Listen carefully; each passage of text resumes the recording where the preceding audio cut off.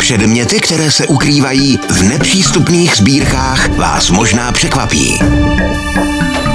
A starobilé české hrady, které jsou plné tajuplných příběhů. Tajemná muzea a pověsti a záhady českých hradů. Ve čtvrtek večer na CS Mystery.